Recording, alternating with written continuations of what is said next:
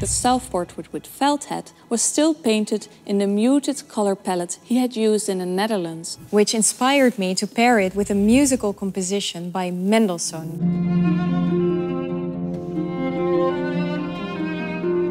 The second one, however, is a far-reaching experiment in the potential of color. Let the sounds of the accordion transport you to the streets of Paris.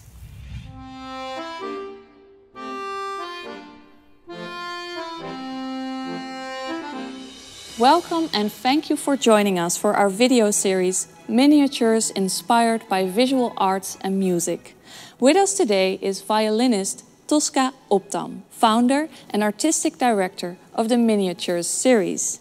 And this series brings together classical music and visual arts.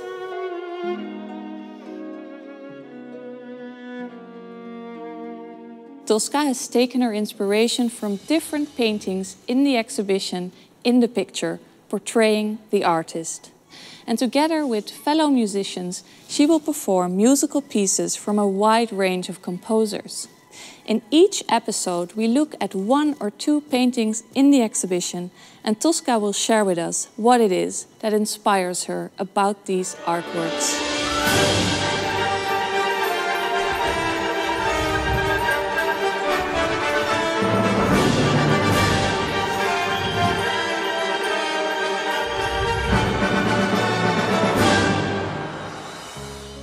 In this first episode, the self-portraits of Vincent van Gogh take center stage. Van Gogh has created no less than 35 self-portraits, and today we take a good look at two of those. It wasn't until Vincent van Gogh moved to Paris five years into his artistic career that he started to paint self-portraits, it was here, in the thriving city of arts and culture, that Vincent van Gogh got to know the latest developments in art and he met and befriended a wide range of forward-thinking artists. Van Gogh's style evolved rapidly in the two years he spent in Paris. It is here that he became a truly modern artist. And this becomes abundantly clear if we compare the self-portrait with felt hat to the self-portrait with Gray felt hat. The first one was still painted in the muted color palette he had used in the Netherlands. The second one, however, is a far-reaching experiment in the potential of color. It is completely built up of short, rhythmic brushstrokes in enhancing color pairs. Isn't it astonishing that there is only nine months' time between the creation of these two self-portraits? What appeals to me greatly about these two self-portraits is especially the radical difference in style between them. The portrait with the darker palettes expresses a certain yearning, which inspired me to pair it with a musical composition by Mendelssohn called May Breeze from the collection Songs Without Words. Van Gogh often used musical images when speaking about his work, and in one instance, he compared the brush moving in his fingers to the bow on the strings of the violin. Both Van Gogh and Mendelssohn were great travelers, impelled as they were by a certain Sehnsucht or longing, which I perceive in the portrait with the darker palette. It is beautifully expressed in this arrangement of May Breeze, in which I use only the darkest colors on the violin. The harp, played by Petra van der Heide, adds a beautiful and dreamy timbre. This second self-portrait signifies an embrace of new techniques and experiments. And it is clear that Van Gogh was open to the influence of his new home, Paris. A fellow Parisian and contemporary of Van Gogh was composer Erik Satie, who exerted great influence over avant-garde composers with new techniques and color experiments. Known for his eccentricity, he often referred to himself as a phonometrician, someone who measures sounds accordionist Vincent van Amsterdam will perform a selection of this book. Let the sounds of the accordion transport you to the streets of Paris. Being not only a composer but also a poet and a calligrapher, Satie incorporated these three disciplines in the score of his collection of compositions called Sports et Divertissements.